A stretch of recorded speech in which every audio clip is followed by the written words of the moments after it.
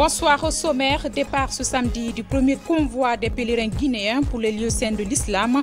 Le Premier ministre, chef de gouvernement, a réaffirmé le soutien du gouvernement aux 7500 candidats du Hajj 2018. Deuxième journée de la campagne d'assainissement de la ville de Conakry. Malgré les fortes pluies, autorités ou populations ont massivement répondu à ce rendez-vous citoyen qui interpelle chaque Guinéen. Culture FIMA 2018 au Maroc, la Guinée sera au rendez-vous de la 11e édition du Festival international de la mode en Afrique. Un mannequin et une styliste vont représenter le tricolore national à cette rencontre culturelle. Encore une fois, bienvenue à tous. À la une, le premier convoi des pèlerins guinéens a quitté Conakry ce matin pour les lieux saints de l'islam. Cette année, ils sont 7500 candidats à accomplir ce cinquième plié de l'islam. À l'aéroport, le Premier ministre a réaffirmé à ses pèlerins le soutien du gouvernement dans l'accomplissement de leur mission religieuse. Hadi Kamara, bureau de presse de la primature. 280 pèlerins guinéens ont quitté Conakry pour les lieux saints de l'islam, la Mecque. C'est au compte du premier convoi. À l'aéroport international de Conakry-Bessia, encadreurs, voyageurs, guides et services de santé étaient tous mobilisés pour le bon déroulement de ce Hajj 2018 en Guinée. Cette année, il y a eu deux innovations qui nous ont permis d'avancer vraiment avec beaucoup d'assurance. Bien entendu, avec la correction des erreurs du passé. Le premier atout, c'était que les vaccins sont arrivés avant le début de la campagne de vaccination. Le deuxième atout, au vu des attroupements que nous avons connus les années dernières, on a essayé de décentraliser les sites de vaccination. On avait au total cinq au lieu de un ou deux les années passées. On avait le site de Mamtoto à la mosquée Fofana, le site de Kunti à la mosquée Al-Haramain, le site de Koloma à la mosquée turque, le site de Faisal et le site de la prévention habituelle. Je veux avec le message de paix, que la Guinée prospère, qu'on puisse avancer et qu'on puisse faire du bien. Les autorités à tous les niveaux veulent donner un cachet tout particulier aux opérations de transport et d'hébergement de nos pèlerins. Il y a une rotation de près de 25 vols qui va avoir lieu, qui va permettre de drainer les 7500 pèlerins guinéens au lieu saint de l'islam entre le 28, c'est-à-dire aujourd'hui, et le 6 août. La destination, c'est Médine. Toutes les dispositions sont prises. Du personnel est en place, les équipes sont installées, depuis l'aéroport jusqu'à l'installation des pèlerins à leur logement, leur nourriture. Voilà, il y a des différentes commissions. Nous-mêmes, nous avons séjourné pendant longtemps en Arabie Saoudite pour mettre en place ces équipes. Et d'autres équipes vont sur chaque convoi. Il y a une, une équipe de techniciens qui accompagne voilà, les pèlerins pour leur, leur, leur, faciliter et la traversée et leur séjour. Euh, on rend hommage ici à le Tout-Puissant, Allah, qui nous a facilité les tâches. Aujourd'hui, nous vivons le départ du premier convoi de nos pèlerins vers saint de l'islam. Nous sommes maintenant en phase de l'obtention des visas. Au fur et à mesure que le visa est délivré, directement, dans 10 jours, tu n'auras pas à voir comment ça les pèlerins ici. Ça, c'est grâce à l'implication de son Excellence le chef de l'État à l'organisation du pèlerinage de Séguinène. Très attaché aux valeurs sociales et religieuses, le Premier ministre Dr Ibrahim Kassori Fofana a jugé utile de venir congratuler et encourager les pèlerins guinéens afin qu'ils puissent s'acquitter de leurs obligations dans les conditions les meilleures. Le président de la République m'a demandé d'assister à ce premier départ pour m'assurer que tout se passe bien pour nos pèlerins et exprimer aux pèlerins les vœux de bon pèlerinage. Nous souhaitons qu'ils nous reviennent en bonne santé et qu'ils prient pour le pays, la paix dans le pays, la prospérité de la Guinée. Cinquième pilier de l'islam, le Hajj est un acte d'adoration obligatoire pour celui qui en a les possibilités financières, mentales et physiques et cette bonne nouvelle pour les travailleurs de la RTG avec la signature d'un protocole de partenariat entre le ministère de la Communication et la radio-télévision turque à travers l'ambassade de la Turquie en Guinée. Ce partenariat porte sur la formation du personnel des deux RTG dans le domaine technique. Le point avec Alcine Gissi.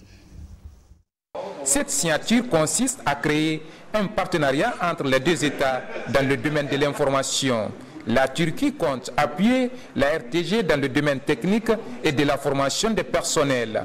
Euh, nous sommes venus avec un projet concret qui est de signer un protocole entre la radio-télévision turque, la TRT, et la radio-télévision guinéenne, la RTG. Nous avons discuté avec euh, Monsieur le ministre pour une première formation qui nous espérons se fera vers le, vers le mois de septembre. Les directeurs de la RTG Coloma et Boulebine se disent très déterminés à donner un sens à ce nouveau partenariat. Le protocole d'accord qui est signé nous donne un grand espoir dans la mesure où nous sommes à la tête des médias qui ont besoin aujourd'hui de beaucoup d'appui. Certes, nous avons des efforts internes, mais il y a surtout beaucoup d'efforts à faire aussi de la part de nos partenaires. Il s'agit d'un signe de renouveau qui euh, consacre en, fait la première euh, partie d'un engagement des deux côtés, puisqu'en fait c'est parti de l'initiative du ministre de l'Information et de la Communication euh, d'aller vers beaucoup de nos partenaires pour pouvoir renforcer les capacités de nos structures. Pour le ministre de l'Information et de la Communication, l'heure n'est plus à l'attente ou au repos, mais plutôt à l'action.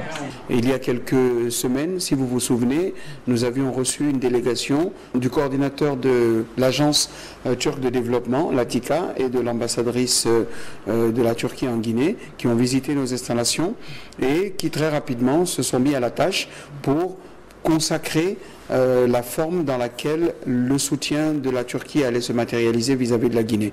Donc aujourd'hui, on a la première étape de cette collaboration qui, euh, nous le savons, va être très fructueuse dans un futur très proche.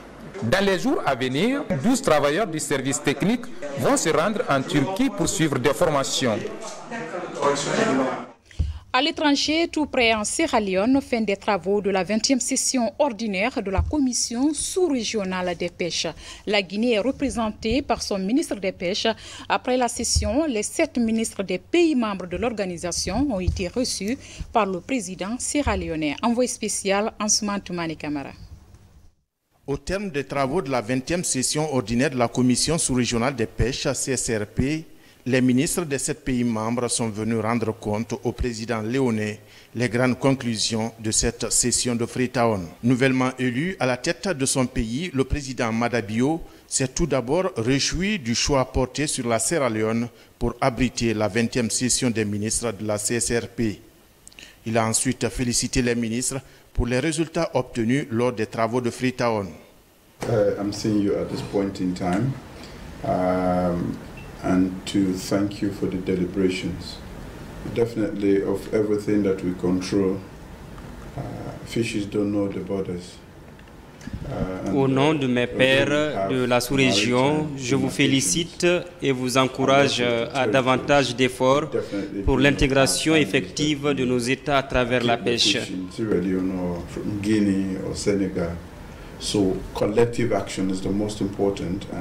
Le secteur de la pêche est très capital pour l'économie de nos pays et pour la sécurité alimentaire.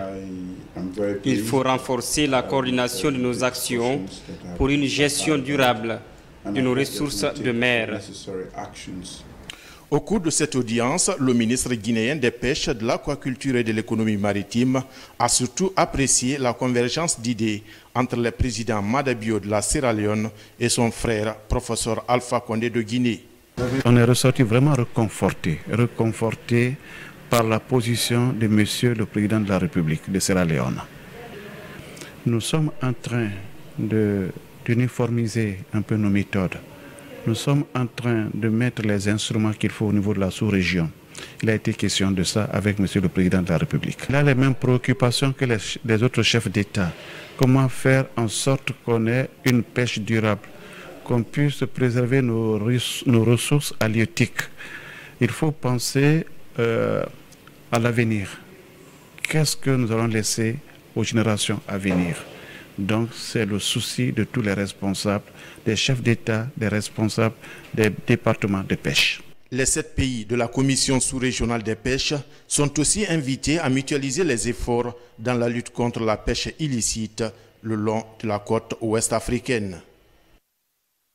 Retour à Conakry, le ministère de l'administration du territoire et de la décentralisation conduit la politique de promotion et de réglementation des ONG et du mouvement associatif, conformément à l'article 10 de la Constitution qui confère à tous les citoyens la liberté d'association.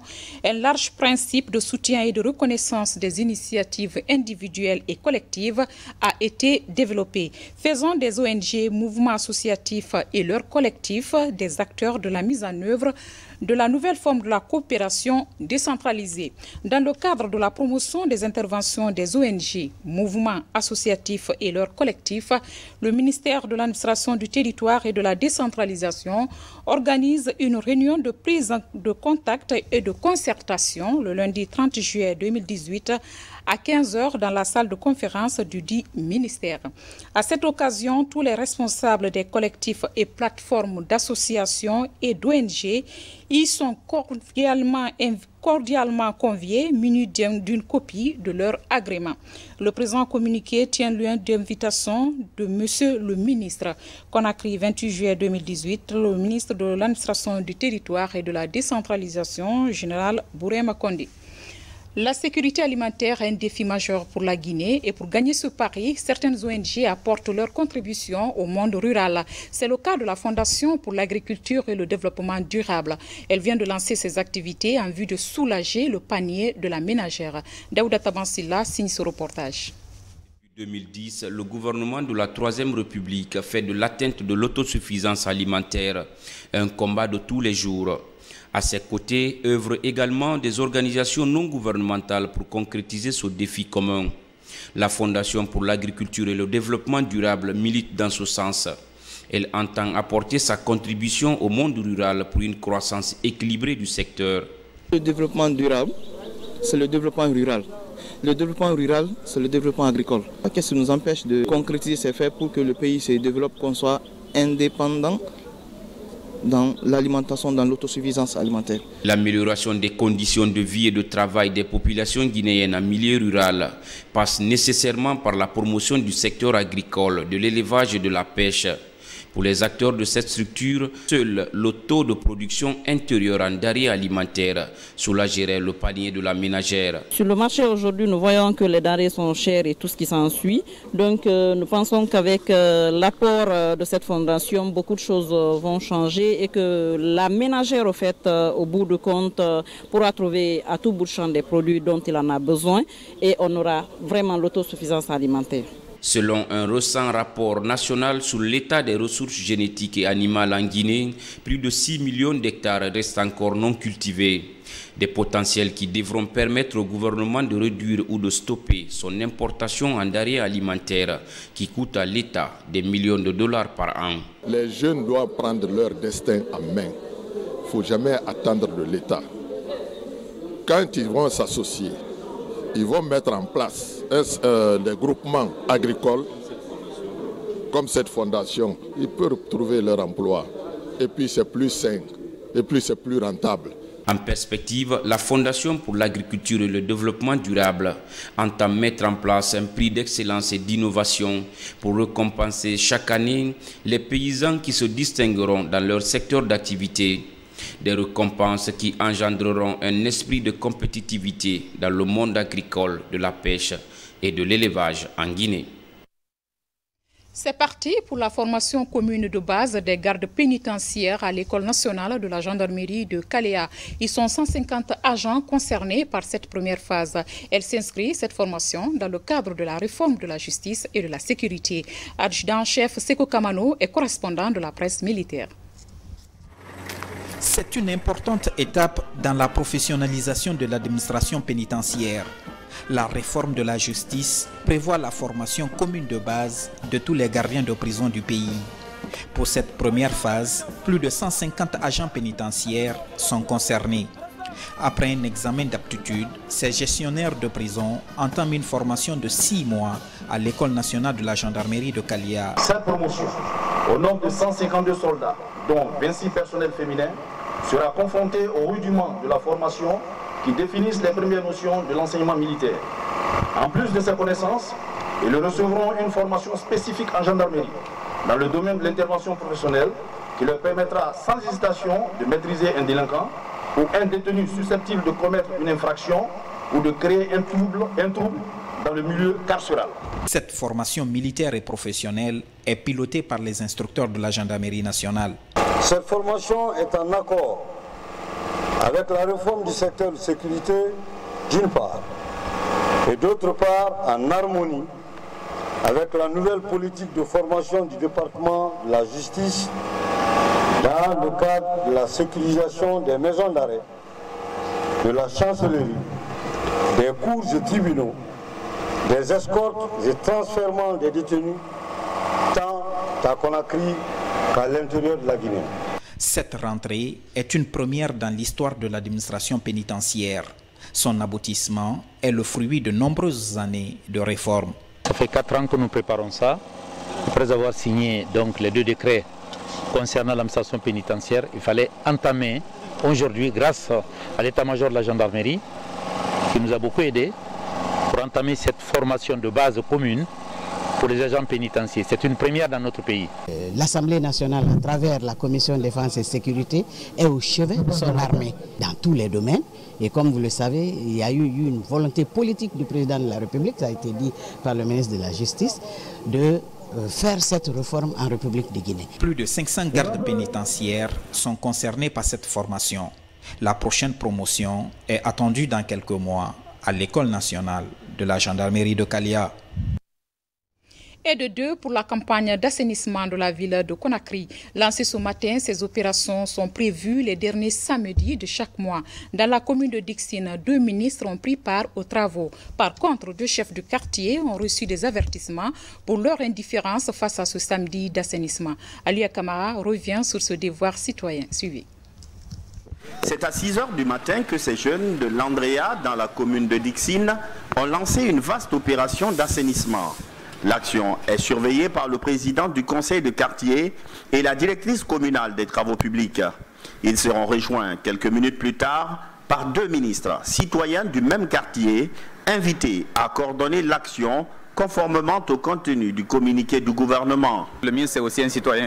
Il est un citoyen et donc il a cette obligation de participer à euh, l'harmonie, euh, à, l'assainissement euh, de la cité. Lorsque on nous voit aussi le faire, parce que aussi vous voyez, dès qu'on est arrivé, il y a eu de la motivation. Donc et ça, ça participe et ça, ça sert à ça aussi. Avec l'assainissement là, je vois que les ouvrages publics sont désormais en sécurité. Parce qu'il y a dégradation souvent quand il y a stagnation. Et les stagnations d'autres peuvent être provoquées même par les ordures qui sont entassées en bordure de route, dans les caniveaux et autres. Donc tant que l'eau ne circule pas, l'ouvrage se dégrade. L'action se poursuit dans deux autres quartiers, Dixine Gare 1 et Dixine Rail. Mais contrairement à l'Andrea, les premiers responsables de ces quartiers n'ont pas participé à cette opération d'assainissement. Le ministre de l'administration du territoire et de la décentralisation, surpris par cette inaction, annonce des mesures contre les chefs des quartiers réfractaires. Nous avons eu à travailler aujourd'hui au niveau de trois quartiers, mais essentiellement nous avons travaillé dans un quartier, pour être honnête. C'est à l'Andrea, les quartiers de Dixon Gare 1 et de Dixon Gare Rail, dans lequel nous sommes maintenant, ont plutôt regardé le tas d'ordures qui est sur les rails et ils nous ont attendus. Or, ce n'est pas seulement le tas d'ordures qui est égal à l'assainissement. Un tas d'ordures, c'est déjà un travail qui est là, précis. Il y a des opérateurs pour s'en charger. Et donc, les deux chefs de quartier sont là. Ils prennent un avertissement du ministre de tutelle tout de suite. Depuis la mise en place du gouvernement Kassori, L'assainissement de la capitale fait partie des grandes priorités du président Alpha Condé. Une commission interministérielle est mise en place pour trouver des solutions urgentes, au nombre desquelles l'organisation de journées d'assainissement les derniers samedis de tous les mois. Malgré les fortes pluies de la matinée, les populations ont massivement répondu à l'appel du gouvernement pour cette campagne d'assainissement. De Kenya à Nongo en passant par Bonfi, les citoyens sont sortis pour nettoyer leur entourage. C'est la deuxième journée de ce coup de balai lancé par les autorités du pays. Moursi Dibé, compte rendu. Au quartier Nongwa, dans la commune de Ratouma, des jeunes munis de râteaux, des brouillettes et d'autres matériels d'assainissement mènent l'assaut contre les ordures. Des actions de nettoyage général initiées par le gouvernement pour permettre à la capitale de mieux respirer et d'offrir un cadre de vie idéal aux populations. Pour l'assainissement d'aujourd'hui, on a commencé au cours de Carrefour pour le nettoyage jusqu'au Capro. Après là-bas, on essaie de réunir les ordures. Une fois fini de réunir les ordures, le camion vient pour ramasser les ordures là. Il y a certains qui jettent, il y a certains qui, qui enlèvent les ordures auprès de la route. Il y a d'autres aussi, c'est en train de balayer au bord de la route, tel que moi, je, fais partie de ça. À Bonfim, dans la commune de Matam, la pelleteuse est en action. Les jeunes, tout comme les femmes, sont massivement impliqués dans la démarche. Un enthousiasme qui témoigne de l'envie des citoyens de vivre dans un environnement sain. On est sorti pour assainir notre quartier, mais parce que vous savez, tout le monde parle que Bonfi est sale, notre quartier. Ce que nous avons constaté, c'est la mobilisation des femmes, la mobilisation des jeunes. La population est sortie pour, mener cette action civique. Je pense que c'est extrêmement important. Il est, il est important pour nous aussi de signaler que ceci doit continuer. La décision, c'est une décision du gouvernement, du président de la République, pour que chaque dernier samedi du mois soit un jour sacrifié et consacré à la salubrité, que chaque Guinéen puisse montrer son sens de civisme, son, son engagement citoyen, pour que notre ville, notre pays soit propre. Pendant cette deuxième journée d'assainissement, initiée depuis le mois dernier par le gouvernement, les consignes sur la circulation des engins sont respectées par endroits. Sur les corniches et sur l'autoroute Fidel Castro, les embouteillages se forment. Pour le ministre des Travaux publics, présent sur le terrain, cette inobservation est placée sous le coup du début de la mise en œuvre du plan d'assainissement.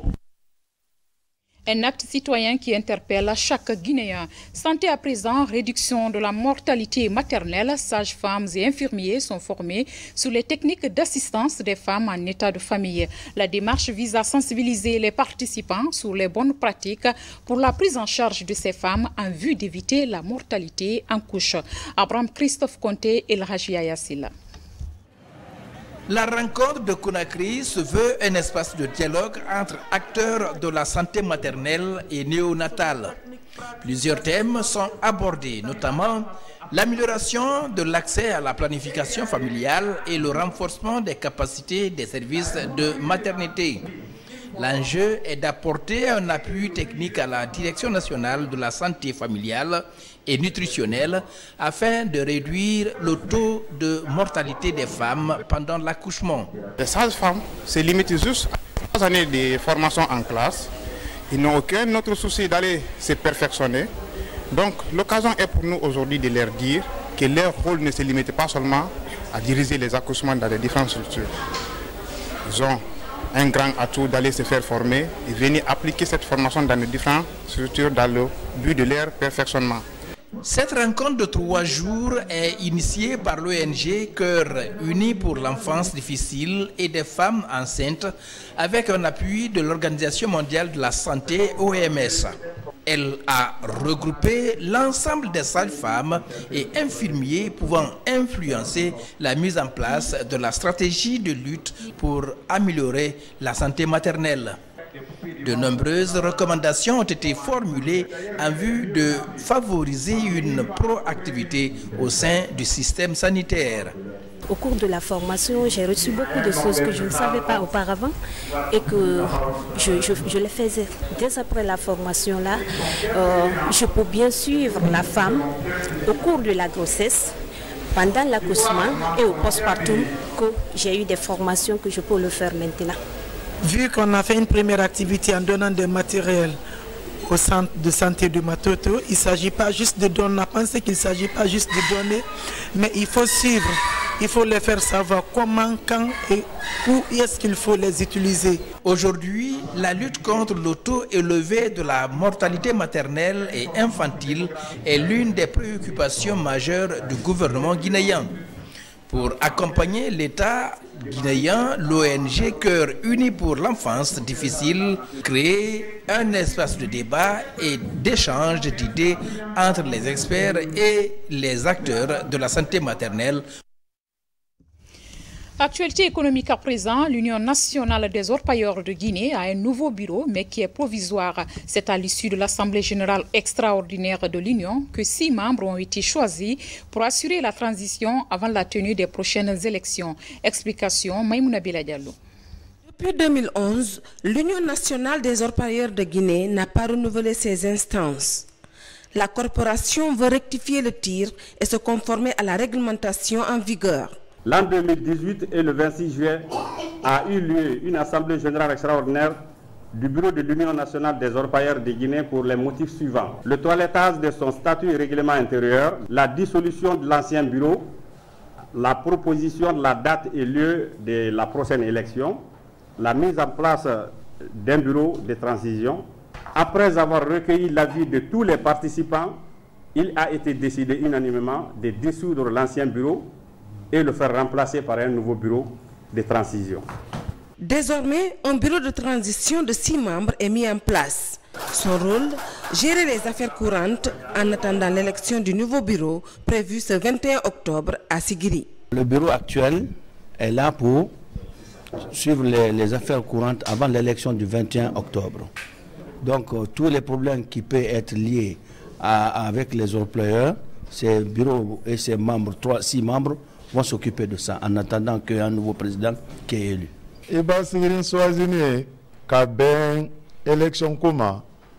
Bon. Le choix de Sigiri, c'est la décision de l'ensemble des membres. Quand tu parles d'or aujourd'hui en Guinée, on sait que Sigiri est la zone orifère. Et quand tu veux prendre une décision, si c'est à Sigiri, tout le monde a confiance en cette décision. Du 1er août au 30 septembre 2018, les populations pourront déposer leur candidature et la caution pour la présidence de l'Union est fixée à 15 millions de francs guinéens. Quelle est la responsabilité du journaliste en temps de crise? La question était en débat entre professionnels de médias et la nouvelle génération de journalistes. Il s'agit d'amener les journalistes à faire preuve de responsabilité dans la couverture des événements en temps de conflit et de crise sociale. Le reportage de Mohamed Saliouba est rendu par Valérie Talimane. Suivez.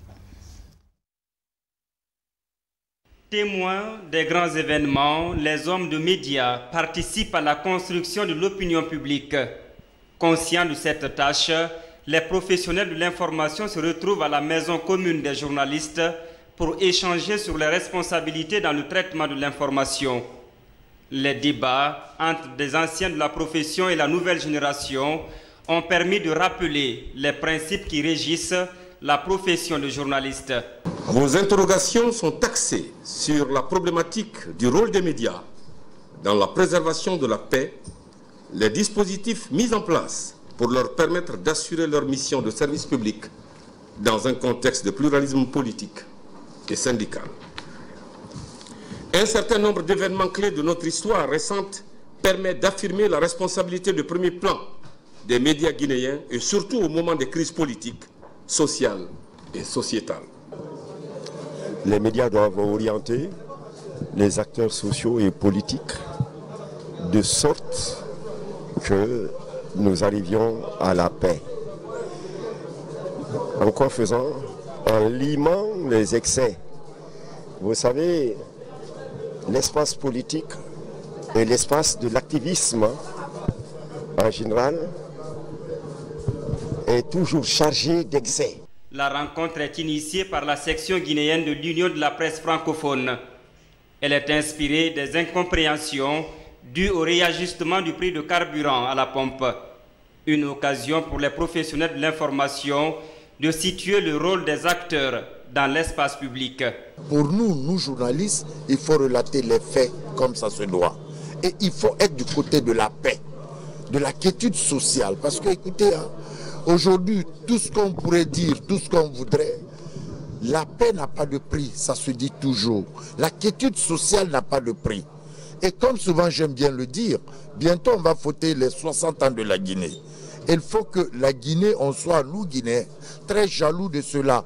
Durant cette retrouvaille, invite a été faite aux hommes de médias de travailler en faveur de la préservation de la paix et la consolidation de la cohésion sociale en Guinée.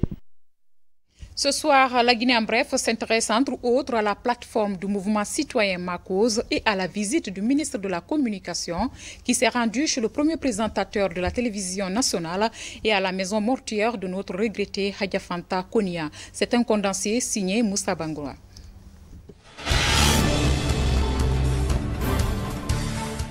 Devant la presse cet après-midi, la plateforme nationale du mouvement citoyen Ma Cause demande à toutes les composantes de la vie sociale de suspendre toute manifestation tendant à freiner les activités socio-économiques du pays. Il recommande toutefois au gouvernement de privilégier l'ouverture du cadre de dialogue et de concertation permanente. Respectant les obligations religieuses des fidèles musulmans de se rendre au pèlerinage à la Mecque. La société civile guinéenne, fidèle à sa mission de veille, d'alerte, d'interpellation, d'interface et de proposition, invite les acteurs sociaux et le gouvernement à privilégier le dialogue pour sortir heureuse de la crise la plateforme nationale du mouvement citoyen Macos demande à toutes les composantes de la vie nationale 1. de suspendre toute manifestation tendant à freiner les activités dans le pays, les activités socio-économiques dans le pays. La plateforme nationale du mouvement citoyen Macos lance un appel au gouvernement de renforcer le transport urbain et interurbain pour faciliter la mobilité des citoyens sur toute l'étendue du territoire national. La vision Conakry 2040 du professeur Alpha Condé. C'est le thème de cette formation qui vient d'être lancée à Conakry. Elle est organisée par le mouvement national des jeunes de Guinée en synergie avec l'Institut technique immobilier. Cette formation sur la technique d'expertise immobilière permettra aux jeunes du parti RPG Arc-en-Ciel de soutenir le président de la République sur le programme de l'habitat social. Nous sommes confrontés à des difficultés.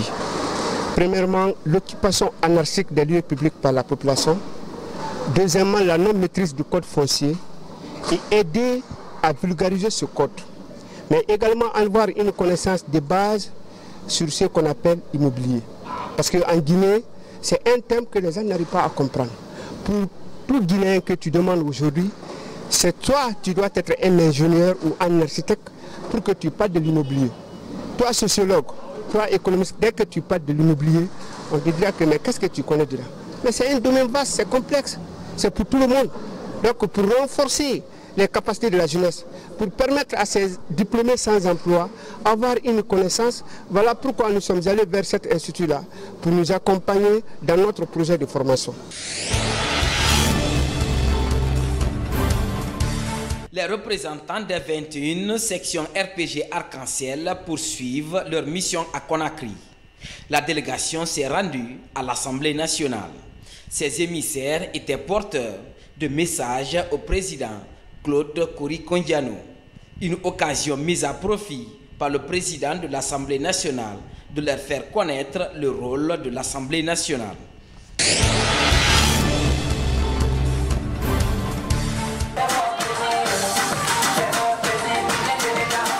La section culturelle de la RTG Coloma a lancé ce samedi la nouvelle saison de l'émission Vacances Loisirs sur le plateau de production de la RTG Coloma.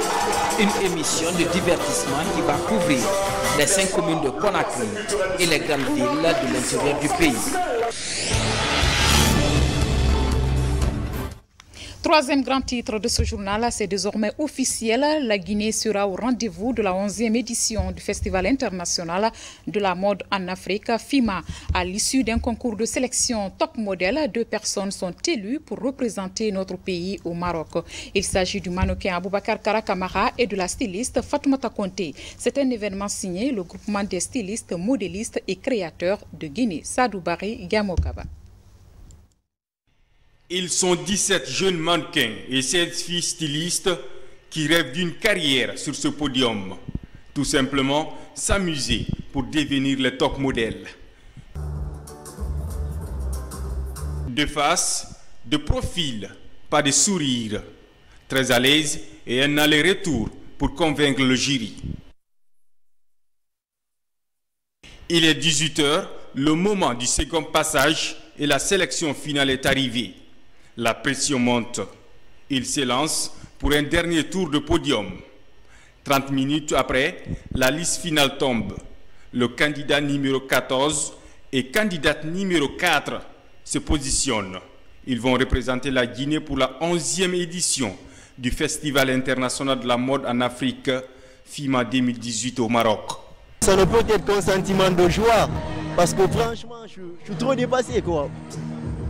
Je suis tellement dépassé que j'ai du mal même à articuler mes phrases et tout. Mais bon, ce que je dirais aux autres candidats aussi, bon, c'est pas, pas la fin du monde quoi. C'est vrai aujourd'hui que c'est moi j'ai gagné, mais quelque part aussi, eux aussi ils ont gagné. Rien qu'à travers leur courage, parce que ce qu'ils viennent de faire là, c'est pas tout le monde qui a cette audace. Donc je, les félicite aussi. Je vais au Maroc, c'est pour gagner. Je vais au FIMA, je ne vais pas en tant qu'Aboubacar Karakamara. Je vais en tant que rouge, jaune, vert. Je suis fière de représenter la Guinée internationalement parce que je veux, je veux encore élever le nom de la Guinée en Afrique et à l'autre côté aussi, dans l'autre continent. Et vraiment, c'est seulement la joie, du courage encore et de gagner, gagner, gagner. La participation à ces concours a permis à chaque candidat et candidate de faire découvrir sa motivation et sa personnalité pour défendre les couleurs de la Guinée à l'international. L'âge, la taille, la beauté physique et le regard ont été les atouts indispensables de cette sélection. Le critère du soir, c'était d'abord la taille. Il fallait avoir 1m80, 1m75 pour les filles et 1m80 pour les garçons et avoir la taille, c'est-à-dire c'était vraiment du professionnalisme parce qu'ils vont aller faire un concours, ils vont aller faire un défilé international. Donc on ne peut pas choisir par affinité ou parce que c'était non. Il fallait choisir une personne qui peut représenter la Guinée et qui peut vraiment valablement représenter la Guinée. Du 21 au 24 octobre prochain, un vrai parcours du combattant les attend sur les dunes du Dakla au Maroc pour l'ultime finale du FIMA avec l'appui du groupement des stylistes, modélistes et créateurs de Guinée. Ces étoiles vont également projeter les lumières sur les talents made Guinée et contribuer à leur rayonnement continental. Chance à nos candidats et mots de sport pour boucler cette édition. Les Jeux africains d'Alger ont pris fin. Notre pays, représenté dans 15 disciplines, a obtenu deux médailles en bronze et un satisfait en judo. Daoudaba est envoyé spécial. Ces deux médailles de bronze ont été arrachées par le Kung Fu Wushu et la boxe. Le judo a obtenu des diplômes de stage. Les athlètes guinéens ont trouvé des conditions idéales pour faire étalage de tous leurs talents. Malheureusement pour certaines disciplines sportives, le manque de compétences et de matériel professionnel fait défaut. Sur les 15 disciplines choisies par le Comité national olympique, deux seulement se sont illustrées. Cela s'explique du fait que le choix de certaines disciplines ne relève pas des fédérations nationales sportives. Je sais qu'après le compte rendu de cette mission, ils vont prendre des mesures drastiques pour que le sport guinéen aille de l'avant. Ils ont déjà commencé.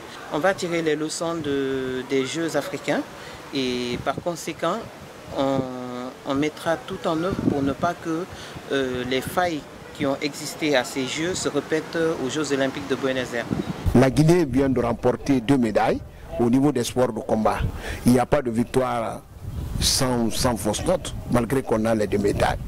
on a eu deux médailles, il y a beaucoup de choses à régler à l'interne.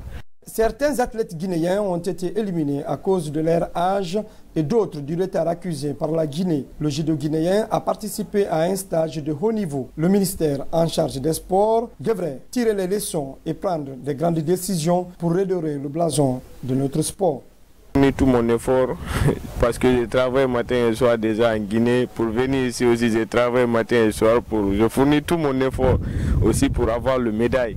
médaille, je, la mérite aussi. Je la mérite. Mais je ne fallait même pas avoir cette médaille bronze là. Je fallait avoir eh, la médaille d'or. Troisième combat, j'ai été éliminé en demi-finale par l'Argélien. Ce n'est que les entraînements. Je dois augmenter mon niveau d'entraînement. Je vais anticiper pour m'attendre au, championnat qui vient. Le gouvernement algérien a accordé 70 millions de dollars au comité d'organisation. L'ACNOA a donné 2 millions de dollars à l'Algérie au titre de soutien. Cette instance africaine a octroyé 500 000 dollars aux comités nationaux africains participant aux Jeux africains d'Alger. Un autre million de dollars sera accordé aux athlètes à travers leurs comités nationaux pour les Jeux olympiques de Tokyo 2020. Voilà qui met fin à cette édition. Merci à toute l'équipe technique du jour. Grand merci à vous également pour votre fidélité à la RTG Coloma. Passez un bon week-end et à demain.